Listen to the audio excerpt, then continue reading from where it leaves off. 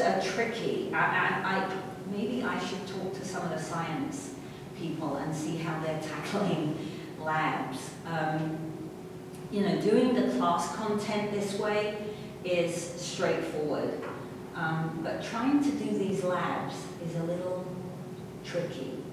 So I wanted to ask, and now it says I'm reconnecting again, so I don't know if I'm frozen.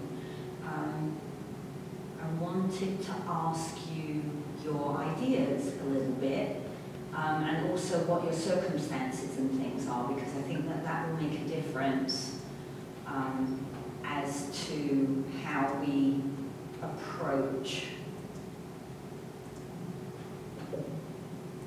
trying to give you some experience with these lab activities. So that's open. Let me share my screen.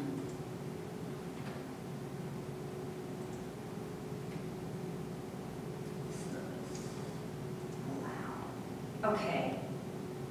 Can everybody see the syllabus?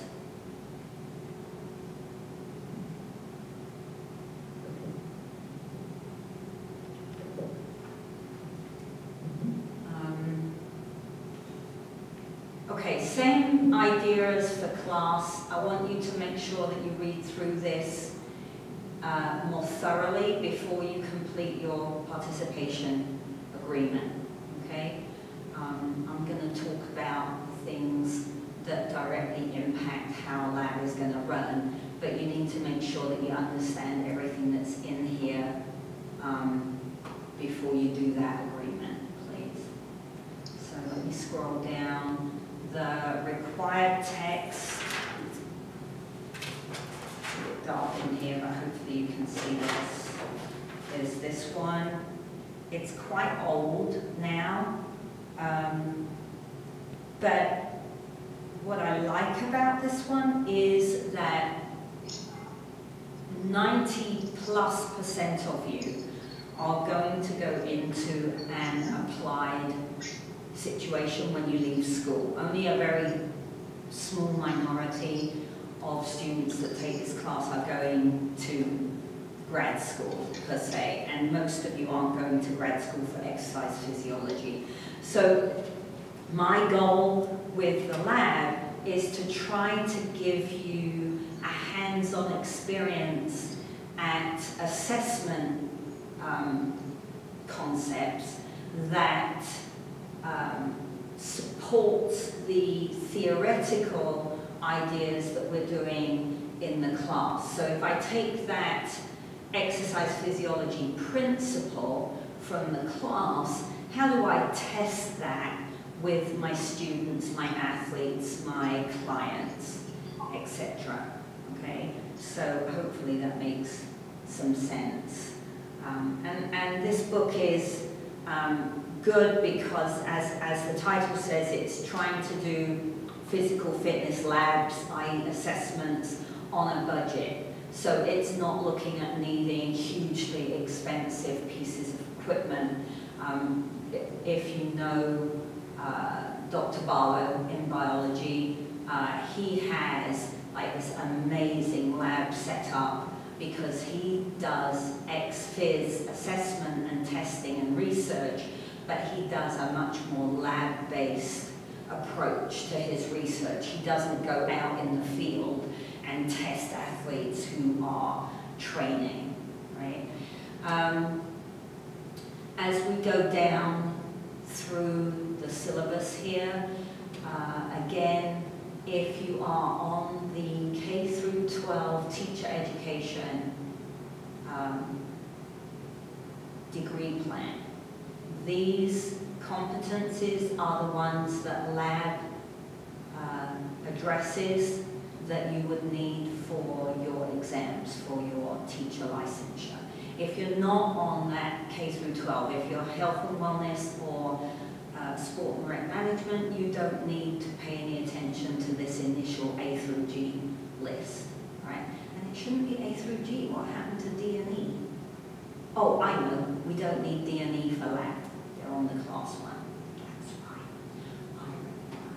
fine. Okay, So um, lab is, as I said, typically a hands-on experience. The point of having a lab session attached to a class is to give you the opportunity to experience things for yourself that we're talking about kind of abstractly in the class situation, okay? So how we're going to do that this semester, I'm not entirely certain yet, which is why I wanted doing this a little bit differently to how I've run the other intro sessions, because I wanted to talk specifically to you and get some thoughts from you, okay? Um, so we've got to be able to participate, that's the whole point. And so one of my questions is, uh, how comfortable are you at going out, given the pandemic, given that if we're outside we have to wear a mask, um, if you're exercising, there's some uh, grey area as to whether you're meant to wear a mask if you're exercising outside. Um, personally, what I am doing is if I go to the walking trail and my car is the only car in the parking lot, I don't put my mask on. Um, it's out on the outskirts of town and I'm not going to see anybody. Um, if I was exercising in the local park and there were lots of people in the park, I'm, I probably would wear my mask, depending on what I was going to be doing and how close I had to get to those people. So given that situation, I'd like to know how comfortable you are with the idea of going outside and doing some of these labs. So let me come back and bring you guys back up here. I'm going to share my camera again. So talk to me. Tell me what you think about that. Because that will impact how we lay out what we're going to do this semester.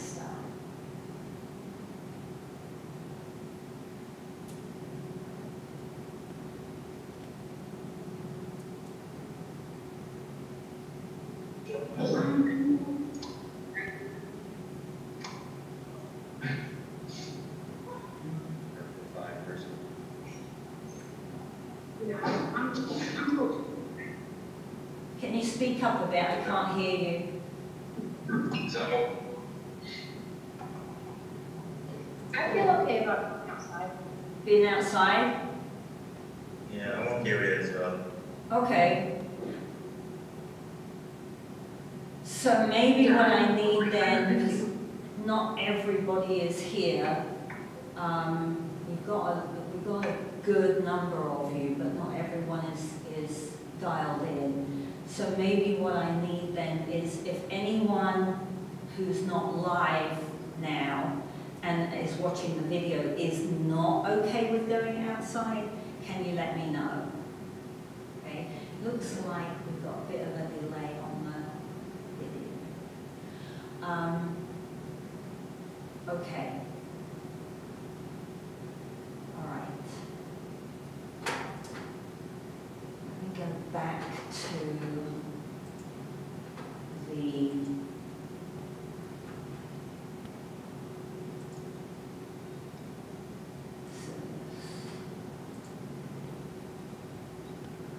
Okay. Um, I have to say, I, I'm really struggling to, to label the evaluation. Um, since you're not here in the classroom with me. Um, what, I, what I might do is get you to film yourself for two minutes, three minutes, five minutes, whatever, doing the lab, and then you can post that video and that will be your participation element. Um, and we'll work out how to put the workbook in electronically onto Blackboard, I think, will be the easiest way of doing it. Um, and before I forget, if, if we're going to do that, there's a piece of, is it an app, Ryan? That, that um, PDF, the camera scan thing? Okay, there's an app that you can download for free. You probably already have it. I'm so backward. Um, I only just learned about it. So, um, find it.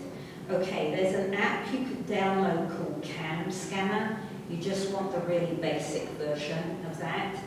And that allows you to take a photograph of the pages in your workbook and then turn them into a PDF that you can load onto uh, the assignment in Blackboard.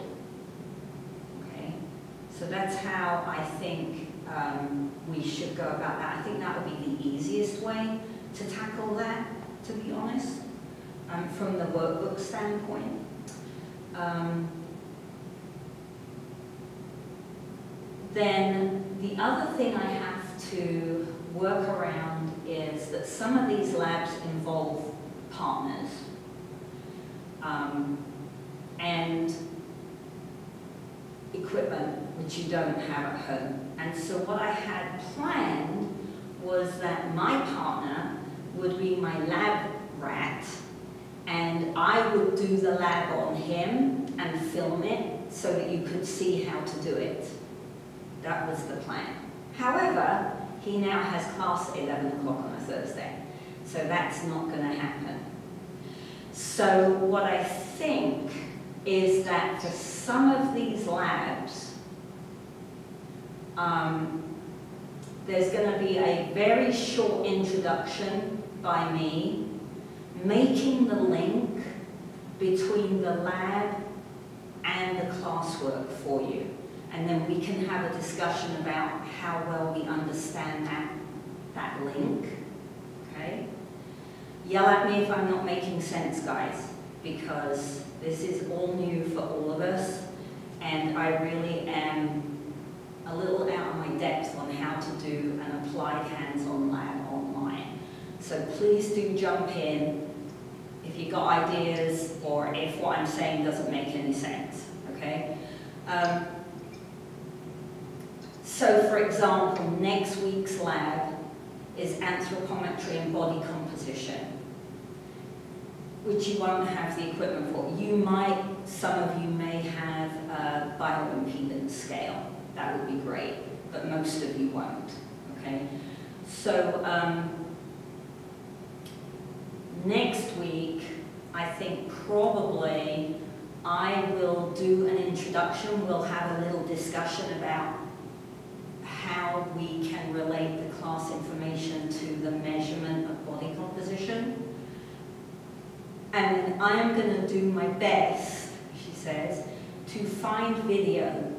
Um, Brian tells me that if I look hard enough, there's video of anything on the internet now.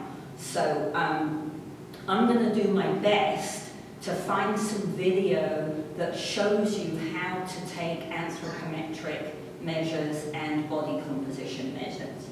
Okay? Um, the following week, I have an actual lecture for you because that's the, if you remember yesterday, I said when we went through the physical activity log that you need a valid um, physiological measure of intensity for your aerobic activity. So that lecture on the third that's labeled intensity relates back to, um, to class, but also directly to your lab measurement, uh, your log measurements, okay? Um, so some of these are going to be things where I can do something in the classroom and show you, and some of them are not, okay? Some of them, for example, Lab 9, is a, I think it's lab nine, is a sprint test, sprint assessment. So you can find some space outside and run that assessment. It will be a lot easier to run it if you have a friend. You don't have to be close to each other, but if you have someone who can time you, that'll be easier. But we can give it a go on our own. My goal is not to have perfect measurements for you in this lab. The goal is to show you how to measure some of the things that we're talking about in class. All right? And I'm about to discuss why that's so important. All right? I'll come back to the camera in a little bit. Okay? Um, uh, what else? I think, I'm just going to play it week by week. If any of you have any better ideas, please, or if you have any ideas, please do, you know, please chime in. Um, we, we all have to help each other out under these circumstances. This is not, this is not easy for you, I know, and it certainly isn't easy for me. Um, I, I just admire all of you for registering this semester because I suspect had I been a student, I would have gone off traveling around the country for the semester um, and come back in the spring. So I really, really admire that you're here and that you are willing to knuckle down and tackle this challenge. Um, and you know, we will be as flexible and as helpful to each other as we can? So um, with that, I want to talk about um, a little bit about assessment and then a little bit about goal setting that goes back to your physical activity log, and then I'm going to let you get on with labs one and two on your own, okay, because they are just fill-in items. So let me come back to the camera here. Turn it around because I need to move. I cannot teach standing or sitting still. It's impossible. Okay, hold on, turn the camera over there. And- Okay. All right. Okay, so, um, assessment. So there's a couple of reasons why assessment is so important. And generally, in the exercise and movement world, we don't do a very good job with it, to be quite frank. Um, we, we don't follow up on assessments very well. Some people don't run them at all. Um, and they take a guess at whether or not things are improving. Right? So, two reasons for assessing. The first reason is the obvious one that in order to know whether or not the individual's behavior, fitness, strength, whatever, has improved, I would need to test that, right? So I need a pre-measure where I gather information on this individual and then I apply a program to them. But then I need a post-measure to compare to the pre-measure, okay? And in sport in particular, we're quite good at doing the pre-measure, right? So those of you who are athletes, you come back and pre-season, coach runs a whole load of tests, the athletic trainers run a whole load of tests, they get a baseline set of measures on you, and then they start pre-season training, right? But how many coaches do post-season assessment? Right? Not many. Right? They watch, they time you, and because they're experienced, they go, oh, that person got stronger, that person got faster, right? They're probably not wrong. but that isn't science, right? And you are taking a degree in science, right? PE, movement, exercise science, coaching, teaching, athletic training. This is science. And if we're going to do it properly, we need to apply the rules, right? So the rule is I pre-test, I run the intervention. The intervention could be the training program. The intervention could be the rehab program. The intervention, for those of you that, that um, have done the playground with me, could be a motor skill intervention with right? And then we post-test and we do a true comparison to see what the improvement is or is not, okay? So that's the first reason. The second reason is what if, when I do the post-test, that person didn't improve or only improved a tiny little amount?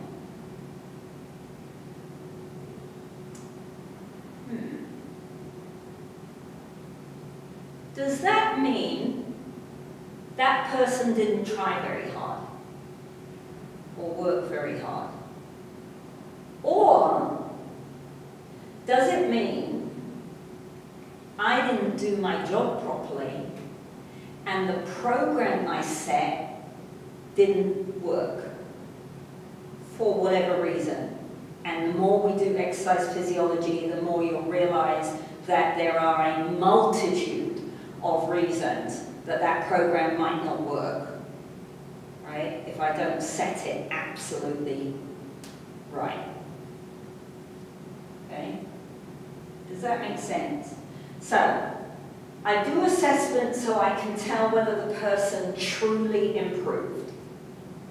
And I do assessment so that I know whether what I'm doing works. Because if it doesn't work, I have to change it. If I don't change it, I'm a lazy coach, a lazy trainer, and the people I'm working with aren't going to get the outcomes they're expecting.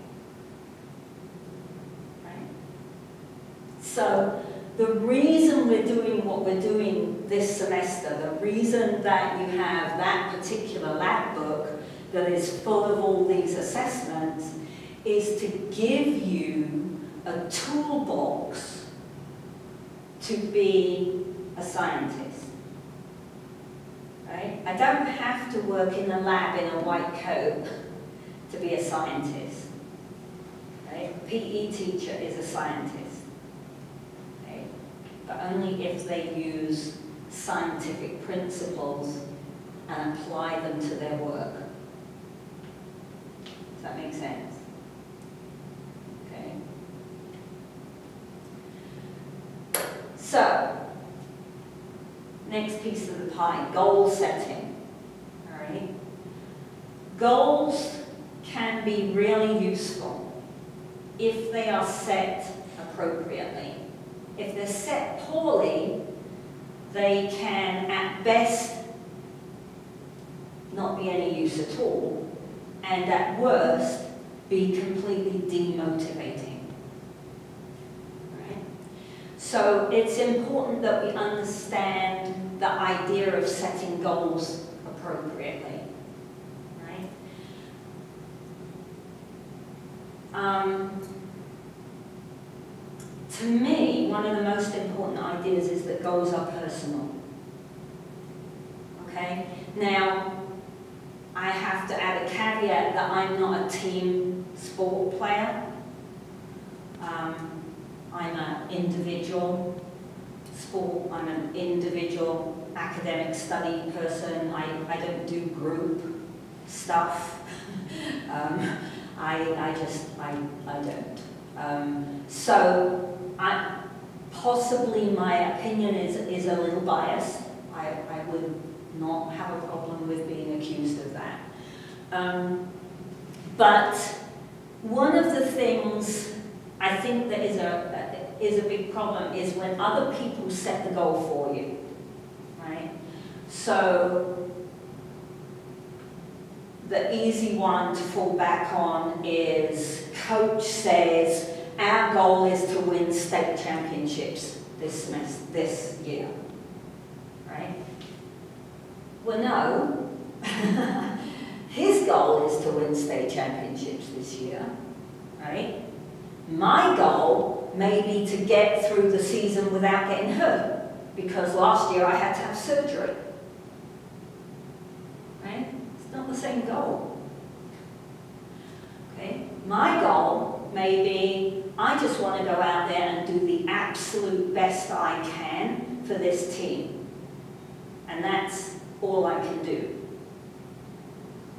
Right? So, the number one rule is that goals have to be personal. Someone else cannot set a goal for you. It's an internal thing. Right? Then we can use our SMART acronym. Okay? S stands for specific. So that's easy to understand, right? I get on the scale and I go, okay, my goal is to lose weight. That is not specific, okay? To make it specific, I have to say, I want to lose X amount of X, right? So, for most people, when they say I want to lose weight, what they really mean is I want to lose fat mass, right? And we'll talk about this a little bit uh, on Friday, tomorrow. Is that tomorrow? Yes. Um, right? They don't mean I want to lose weight, because weight encompasses bone mass, muscle mass, right? All these things that are really good and healthy for us. I don't want to lose bone mass. I don't want to get to 80 and fall over and break my hip because I've got osteopenia. I don't want to lose muscle mass so that when I go shopping I can't pick my own bag of potatoes up and put it in the back of my car. I want to be strong, right? So I want to lose weight doesn't mean what I mean, right? The goal is not specific. The goal is I want to lose 2% body fat, for example, right? Specific, okay? Smart, M. M is measurable, has to be measurable, right? So I've got to be able to measure it relatively precisely.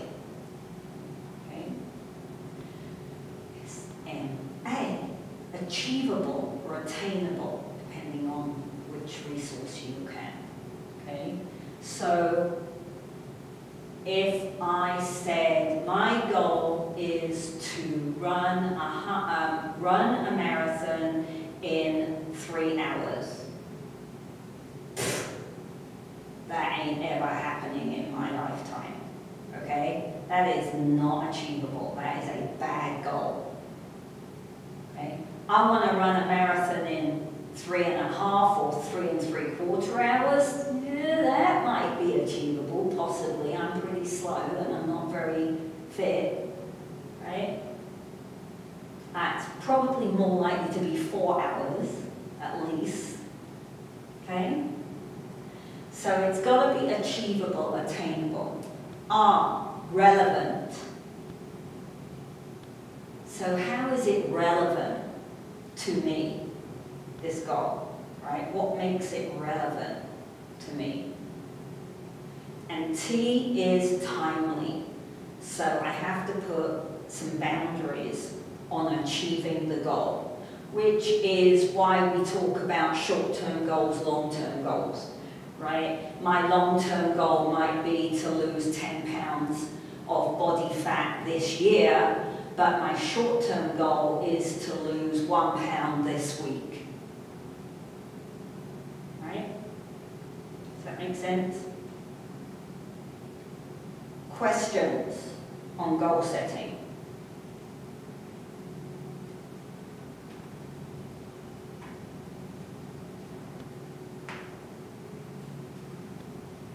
Just checking I've got the speakers on in case somebody's asking a question any questions?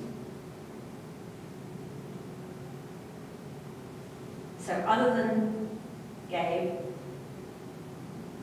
the rest of you need to think about what are the goals around my aerobic activity for my physical activity log for class, right? You don't need more than one. I would not put in more than three. Um, but think of a goal. So for some of you, if you're an anaerobic athlete and you never do anything that you think of as aerobic, right? Your goal might be, I don't think I actually do 150 minutes a week of aerobic activity. If I think about my week, I mean, I go to the gym and I lift, and I, and I run hill sprints on the treadmill or, or outside Greyhound Arena. My, what do I do that's aerobic? Remember to click on that link for the Department of Health and Human Services and have a look at some of the suggestions of things that you could count as aerobic that you might not be thinking about because you're fixated on this exercise kind of concept. All right?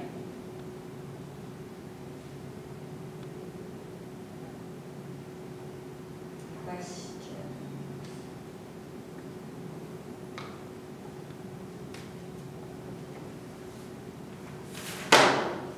Okay. So, today you want to complete lab one, but you don't need to do the whole, let me have a look at it, because there are some of these you can't.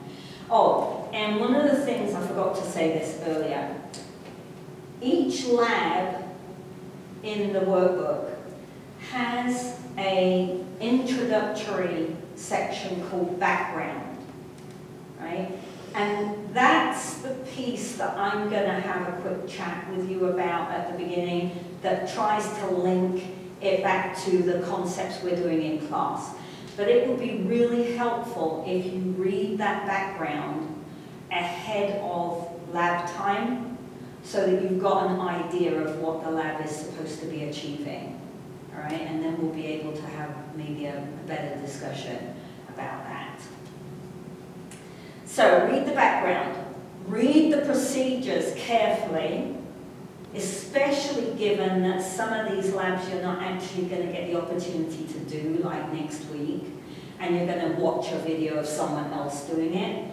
So make sure that you read the procedures. They're very, um, they're very good at laying out the steps to complete the activity in the right way. All right? Why is that important? Why do you have to follow the rules, the procedures for the assessment tool. Anybody got an idea? So you don't make a mistake? So you don't make a mistake. Good. Right? So that's important because the mistake could end up hurting someone. Right? If you if you do it wrong, the outcome might be injuring the person you're assessing, which would be really bad. Okay? The other reason it's important is some of these labs have normative tables, right? So we all like to compare ourselves to everybody else. Okay? So I, I do my assessment and I get my number and I go to the table and it says females 50 plus should score this to be bad, this to be good, this to be excellent. Where do I lie? Right? Ha, I'm excellent. Okay? But if I didn't follow the procedures properly and I didn't complete the assessment the way it's supposed to be done, my number doesn't mean anything. I can't compare my number to what's on that table. Right? So it depends how important being able to compare yourself to the norm is. Right? If I want to be able to compare my data, I have to follow the procedures exactly. Right? So, lab one.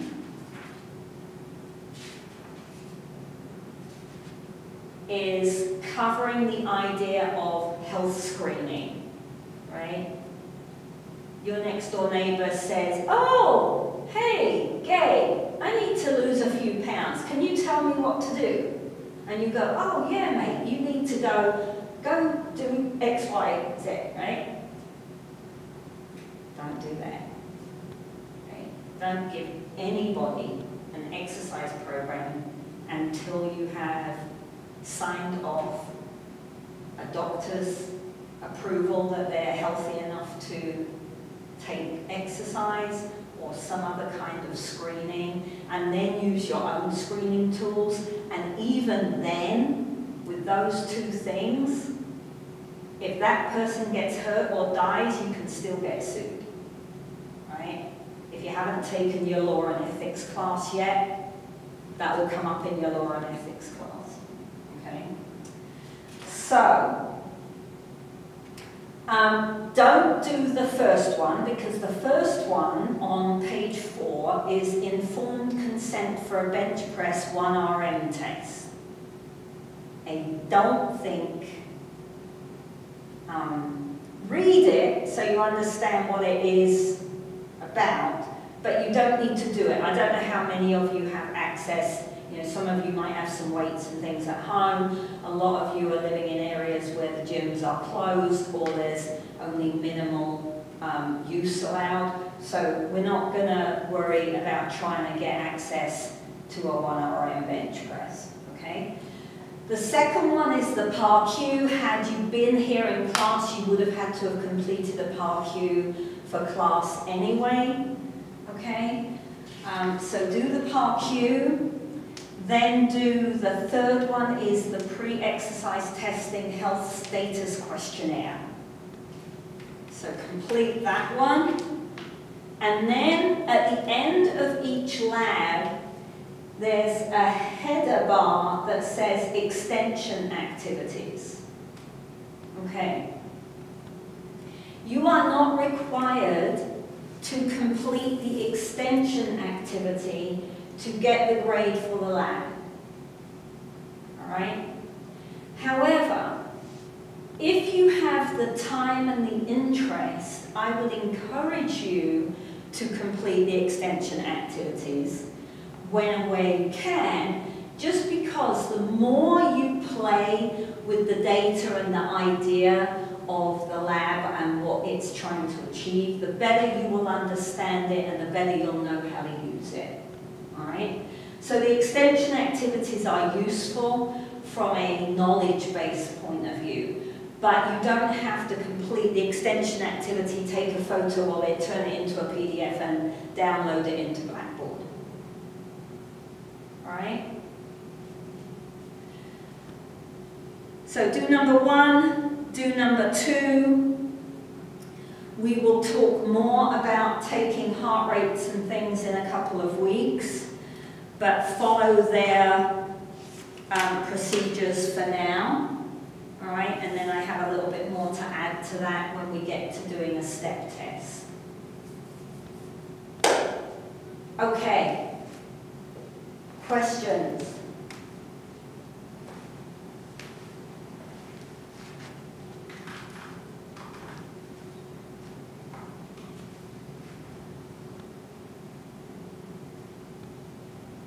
So you've got a good half hour, 40 minutes now before the official end of lab. If I were you, I would sit right down and do lab one and two right now, so it's done. Because if you go, oh, good, early lunch, yay, you might not get back to it, right? And you don't want to be not submitting an assignment.